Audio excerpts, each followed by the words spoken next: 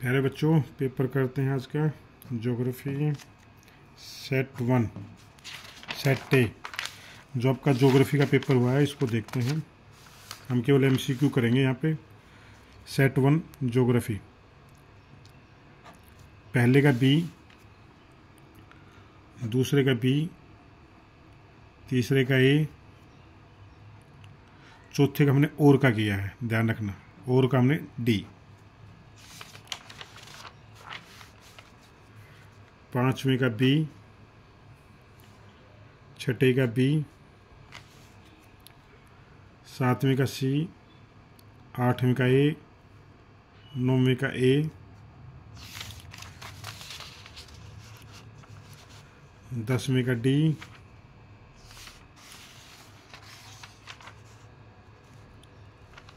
ग्यारह का हमने और का किया है ये सी। बारह का भी और का किया है? बी तेरह का सी चौदह का सी पंद्रह का सी सोलह का ए सत्रह का सी अठारह का ए उन्नीस का सी बीस का डी।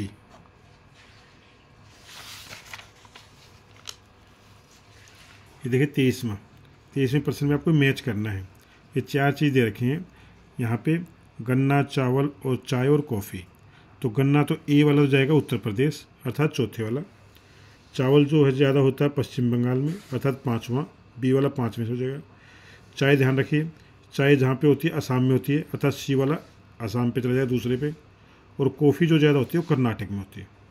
ये मैं ए सेट का तेईसवां बता रहा हूँ। ठीक है? इसको ध्यान से कर लीजिए। ये पच्चीस में भी कुछ खनिज पदार्थ आपको दिए गए हैं यहाँ पे। ठीक है? अबरक लोहा इसक वगैरह ध्यान रखना। इसका जो अभ्रक जो है यहाँ पर आप इस पे आएँगे तो उदयपुर। कहाँ पे चले जाएँगे? तीसरा, अर्थात उदयपुर में। ए वाला सी में।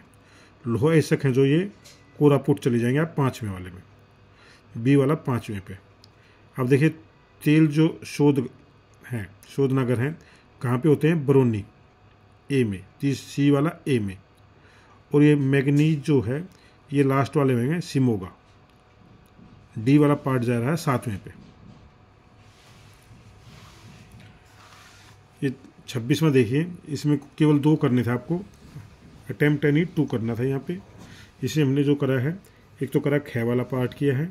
इसमें आपको लिखना अधिक, और हमने घे वाला पार्ट किया था, डी पार्ट किया है, कम, अर्थात लेस, यहाँ पे मोर, ठीक है, यहाँ पे लेस। एक ये और कर रखा हमने सताईसवा इसमें क्या है कि खे वाला पार्ट है, ठीक है, पृथ्वी की जलवायु वर्गीकरण वाला प्रथम व्यक्ति कौन था यहाँ पे? अरस्तु। अरस्तु था जी। ये सताईस में का खे बी पार्ट बता रहा हूँ मैं आपको। ओके इस वीडियो को शेयर ज़रूर कर दें। Thank you